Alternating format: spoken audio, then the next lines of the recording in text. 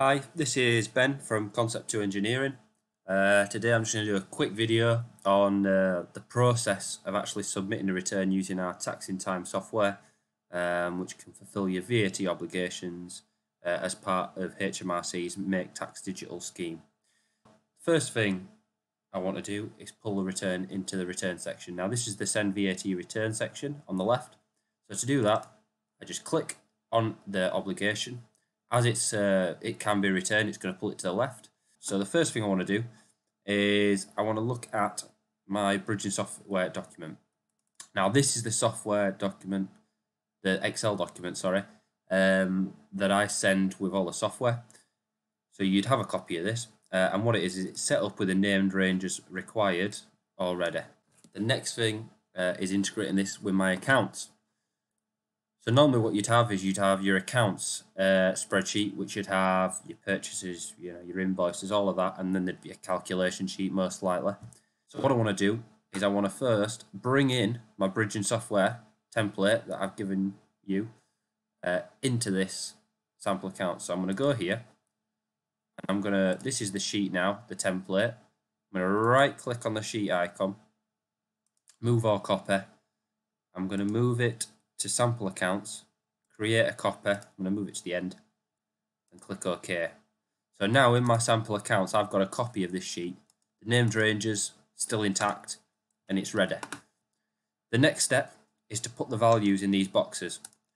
It's set out um, in the same way as the old nine box format.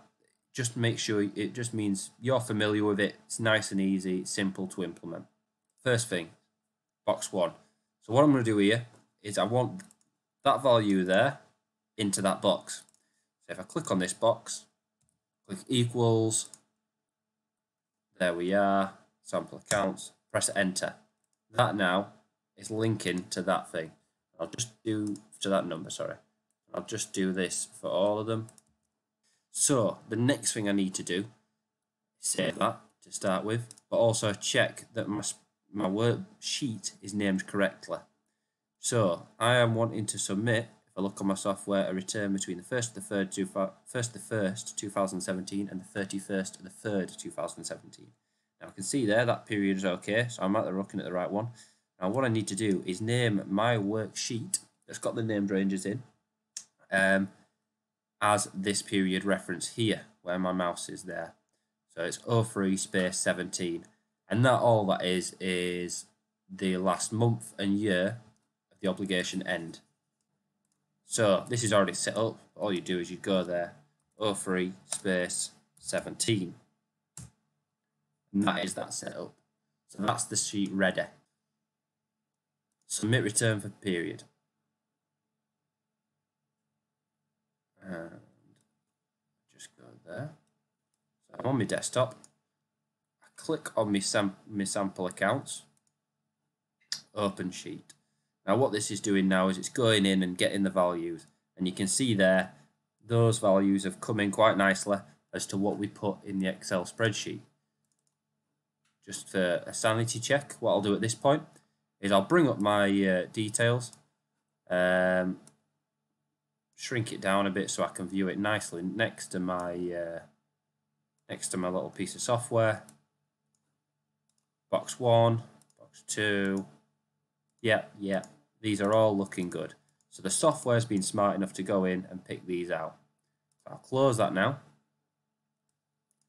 Now, so it's telling you it's received it from that workbook, sample accounts, then the worksheet named for that period. You want to confirm these are correct. If you click no, it'll just let you go and uh, change the details. So there is an out there if you realise the numbers are not right. So uh, I'm going to click yes. This is the legal declaration, the same way you would have had to some to accept a legal declaration on the old VAT 100 form. Um, this is just doing the same thing. So I am confirming that the information is true and complete and that I understand a false declaration can result in prosecution. I'm going to click yes there. So what it's doing now is it's talking to HMRC. I am going to have to log in. I'm going to grant, this is me granting authorization my program to send, file a return on my behalf, essentially. Um, and normally you'd sign up your own government gateway account um, and do two-step authentication. But because I'm using a test user, I'm just going into this little notepad uh, to get my details and I'm simply copy and pasting it in. So I'm granting authority to change my VAT information, which essentially means I'm submitting a return. Now that local host there is just a quick program. What it essentially is doing is it's just so it doesn't close all your tabs. And this is good. This is saying the VAT return has successfully filed with HMRC. Um, it's giving me the details, the processing date, the form reference number, uh, payment indicator, uh, charge reference number, the version of the software used, and the reason all of that really uh, is your receipt. So that's your receipt to show that the software has successfully returned it. Um, and also, if you go into your sample accounts after that, or wherever you've uh, used the template, you will see that these are your numbers, and it's actually put all of those receipt details quite nicely in that sheet for you and saved it. Now, what it's done is it's also re-requested information from HMRC, and you can see 0317, which is the period we've just uh, submitted, is now green, showing fulfilled as its status, and the date it's received, which would be the date it had just been received, but this is sample data. So now, if I click on there, I can actually view the numbers I've just sent to HMRC, um, and that is my data. So that's pulling back exactly what you've just put there, um, and it's showing it you. So that is the return process. It is quite a simple process. It's quite a quick process. Um, and yeah, thanks for listening.